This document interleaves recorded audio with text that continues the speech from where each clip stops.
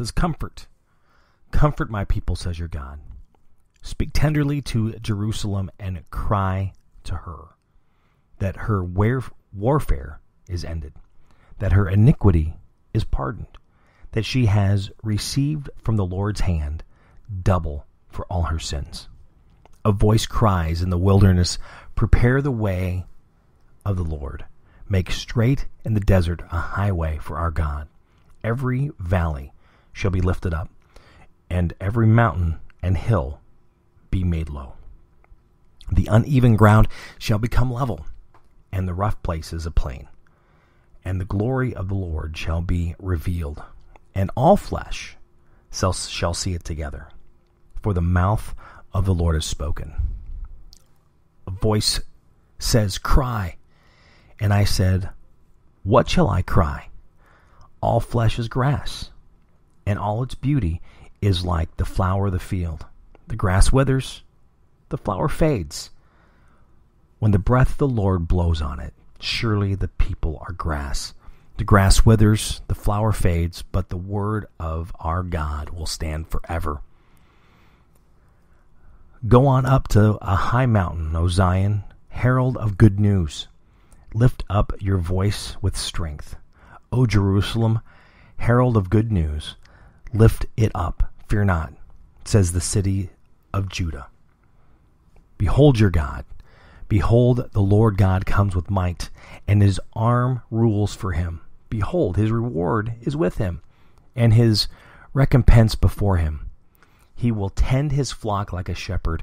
He will gather the lambs in his arms. He will carry them in his bosom, and gently lead those that are with young. Who are has measured the waters in the hollow of his hand, and marked off the heavens with a span, and closed the dust of the earth in a measure, and weighed the mountains in scales, and the hills in a balance. Who has measured the Spirit of the Lord, or what man shows him his counsel? Whom did he consult? And who made him understand? Who taught him the path of justice, and taught him knowledge, and showed him the way of understanding? Behold, the nations are like a drop from a bucket, and are accounted as the dust on the scales. Behold, he takes up the coastlands like fine dust. Lebanon would not suffice for fuel, nor are its beasts enough for a burnt offering. All the nations are as nothing before him. They are accounted by him as less than nothing and emptiness. To whom then will you liken God? And what likeness compared with him? An idol? A craftsman casts it, and a goldsmith overlays it with gold, and casts for its silver chains. He who is too impoverished for an offering chooses wood that will not rot.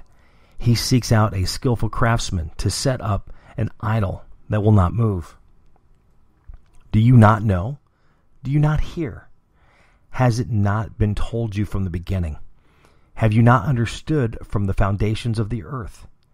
It is he who sits above the circle of the earth, and its inhabitants are like grasshoppers, who stretches out the heavens like a curtain, and spreads them like a tent to dwell in, who brings princes to nothing, and makes the rulers of the earth as emptiness.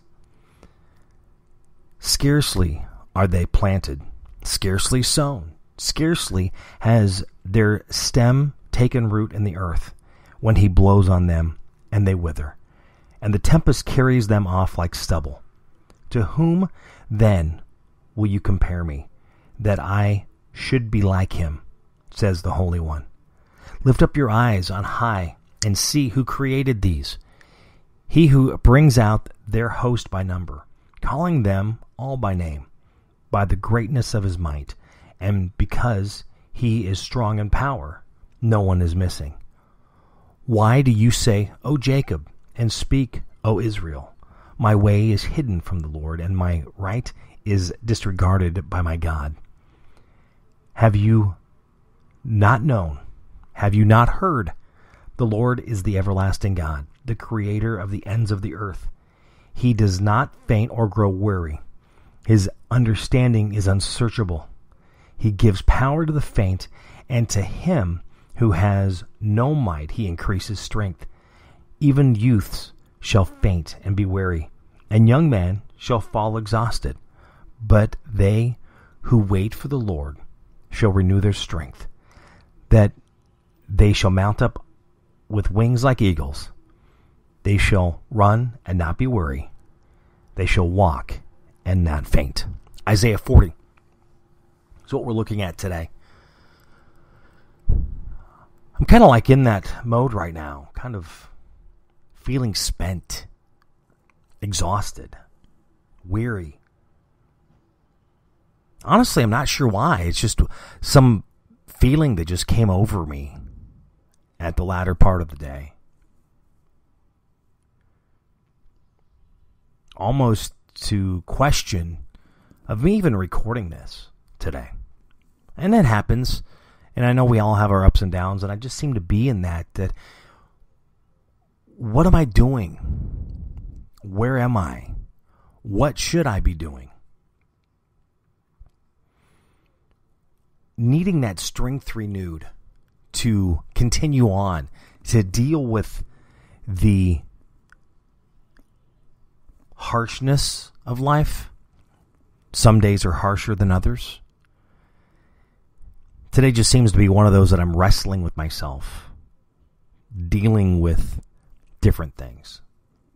And again, that's where it comes to the conversation that I've been sharing of having people around you to talk to that can inspire you, to motivate you, to encourage you. But there's those times that you really can't rely on anybody. You have to be able to do that yourself. You have to motivate yourself. You have to inspire yourself and you have to encourage yourself. Now, with the reading and going to scripture, God's there to inspire, motivate, and encourage you. But where is your mind? You know, He will give strength to the powerless. He will give you the strength to continue the run and not grow tired. To walk while you're having the weight just pressing down on you. So you do not fall, you don't faint. Kind of a little different way I'm kind of I'm going today, and really probably going back to the way I, I did these podcasts a while ago. You know, again, we all have our belief, and we all have that peace that we believe in, that spirit we believe in. You know, for me, I believe in God. I believe in Jesus Christ. And I've not by any means not shared that. And many of you that have been following this podcast for years, I mean, 12 years, I think I've been doing it now, you know that. But again, the Bible also tells us, you know, we all have our own mind to, to make that decision. We have that free will to choose. And those of us choose. And whatever we choose, right or wrong, you agree with me or not, it's okay because we need to be here for one another. We need to lift up each other to help get through the turmoil of our days, the turmoil of life. Some people having harder days than others. We have to really work to do our best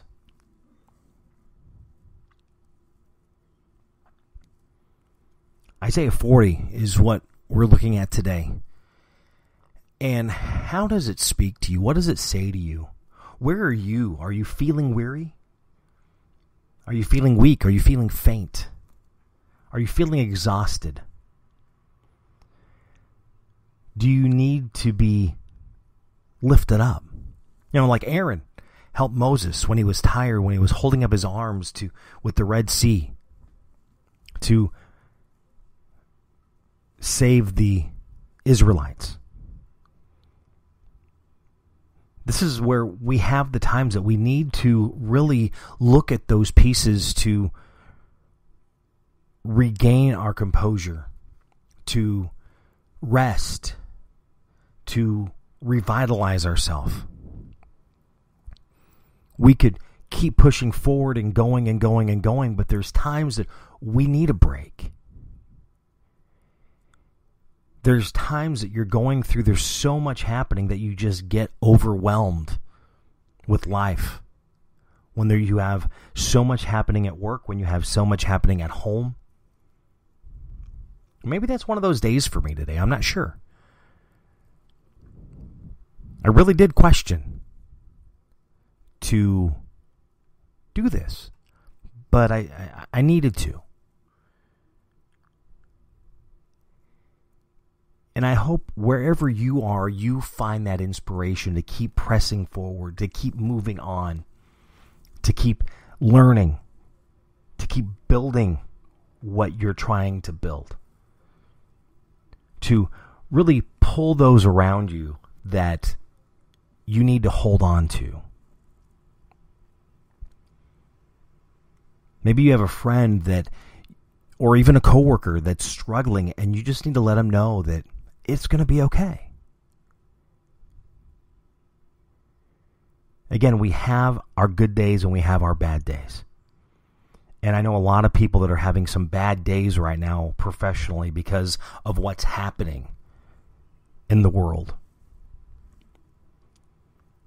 People that are concerned about their job, people that are trying to find a job because they've already been laid off some that are still on furlough and they're not sure when they're going to come back. Some that have just been extended to the end of the year.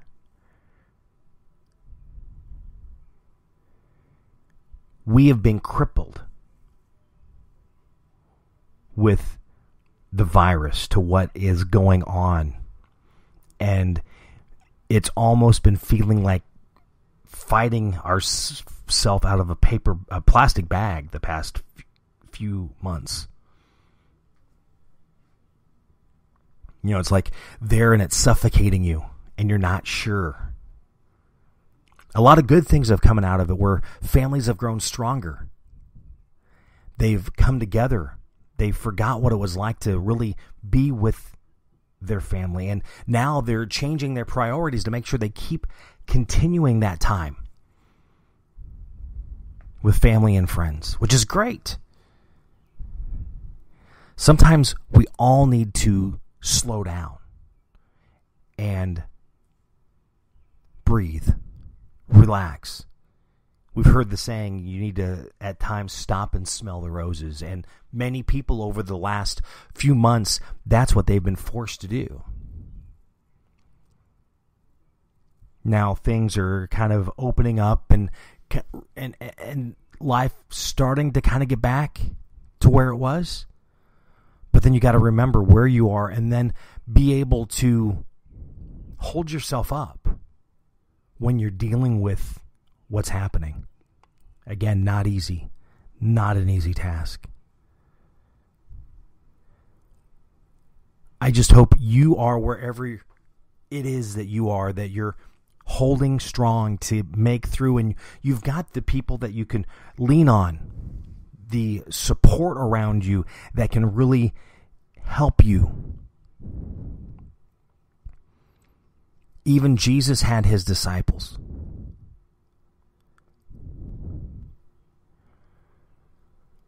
As we are moving on to help each other to be better, to succeed, to get to that next step we have to remember to take care of ourselves, not lose ourselves, to take time out for ourselves to recharge. Body, mind, and spirit. We have to keep that all healthy so we keep moving forward to be the best as we are trying to help others be the better person for them as well. Isaiah 40. What does it say to you today? Read that. See how it speaks to you. Remember that we need to be better today than we were yesterday, better tomorrow than what we are today. Keep striving to be the best. Again, we're going to have our ups and downs. We're going to fail. We're going to trip. We're going to stumble. You fall seven times, you get up eight. You fall 10 times, you get up 11. You just keep getting up and not hold grudges. Not let that negativity get in your mind and hold there. Stay positive. Keep the positive thoughts going to really keep that life moving forward. Isaiah 40. Read that today. Thank you for listening to the Gospel Road. Have a great day. God bless.